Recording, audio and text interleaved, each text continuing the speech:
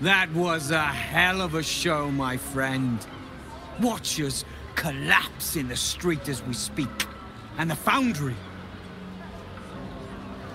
Well, it won't stain this beautiful city with its abominations. Not anymore. But it's not over. So long as a single parasitic Gondian remains, Baldur's Gate is under threat. Enough, Wulbren. Gortash enslaved us, forced us to build his steel watches, but no more. Take the city, let the Iron Hands reign supreme. I just wish to go home and hold my daughter.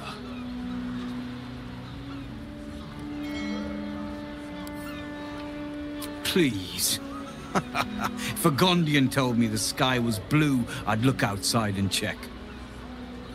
You Gondians will lie, scheme, and torment this city until your dying breaths. Let's end this! Wulbren, enough! I won't watch as you poison your soul and the brilliant future that remains to the Iron Hand gnomes. I thought the Iron Hand gnomes had corrupted you, Wulbren. Now, I wonder if it wasn't the other way around. Kill the Gondians, and you kill all we love. Collaboration, challenge, solving problems with the power of reason, creativity, and invention. I still want to believe you're better than that, Wulbren. But even I am having my doubts.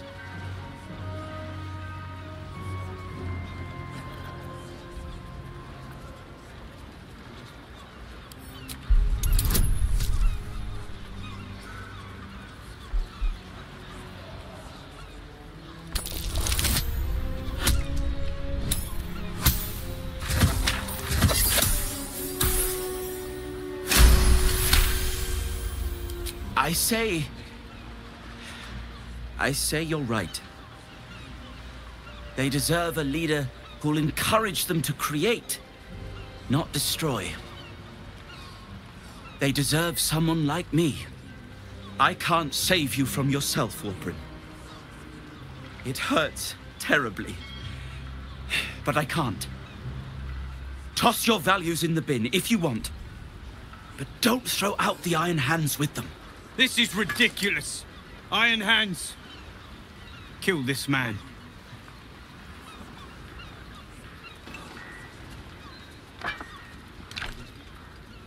How dare you? Cowards! The Gondians recognize Barcus Wroot as leader of the Iron Hand Gnomes, and look forward to ushering in a new peace between our factions. It is with a heavy heart that I remove Wulbren Bongle from our ranks. You have until first light to leave the city. Wulbren. I expect treachery from all sides, but you, little Barcus, the boy who followed me from the Underdark, who clung to me like moss to stone, when we next meet, my hammer will cleave your skull in two, and that is a promise!